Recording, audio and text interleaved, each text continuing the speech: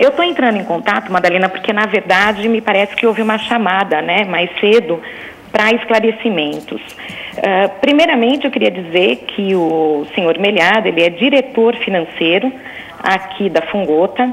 Ele foi chamado para estar tá trabalhando junto com a gente para fazer toda a reestruturação da maternidade. Da onde ele veio, Fernanda? Da onde ele veio? Ele, ele veio hoje, ele está residindo, hoje ele veio de São Paulo e ele já trabalhou, Madalena, no Ciro Libanês como consultor, já foi superintendente da Santa Casa de Jacareí, já foi diretor-geral do Hospital de Base de Bauru, né? Ele já foi assessor técnico da Secretaria do Estado de São Paulo na época do governo Montoro.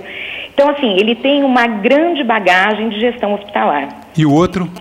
O outro ele tem uma grande bagagem em suprimentos, que é o que a gente está com uma grande dificuldade em estar tá reestruturando aqui. E o custo disso tudo qual é, hein?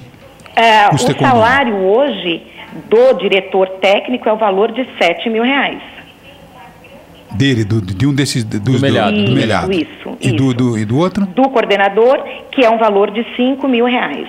Por que, que houve a necessidade né, é desses, desses rapazes ficarem na gota e, e, e, e sair assim, de repente, sair, é, no, numa, sair no, no, no, nos trancos e barros, no atropelamento? É, não, ninguém saiu no atropelamento. O que aconteceu foi, nós estamos aqui na Gota fazendo um levantamento de protocolo, de atendimento. A gente tem feito esse levantamento aos sábados, domingos, feriados, durante semana e nós fizemos isso até em torno de 9, 10 horas da noite. O problema foi acompanhar isso no período noturno. Você consegue aqui dentro. Uh, acompanhar todo o ritmo e toda a situação em que uh, a, as coisas se dão aqui dentro. Fernando, informações, inclusive de funcionários da Gota, eles estavam há três, quatro dias na, Não, eles na unidade. estavam desde segunda-feira. Foram du duas pernoites.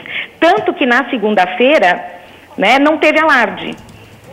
Os funcionários conviveram, os funcionários aceitaram. Agora, me causa estranheza o alarde que foi causado. Já circulam informações que os rapazes que estão aí estariam ganhando salários quase que dentro do prefeito.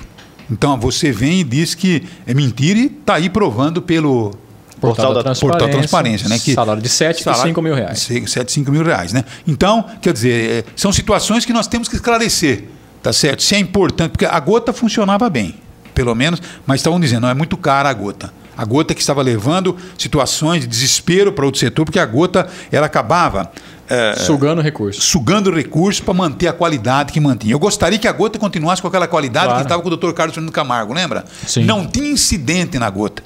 Não tinha incidente na gota. Nós tivemos não sei quantos mil partos sem nenhuma reclamação. As pessoas elogiavam.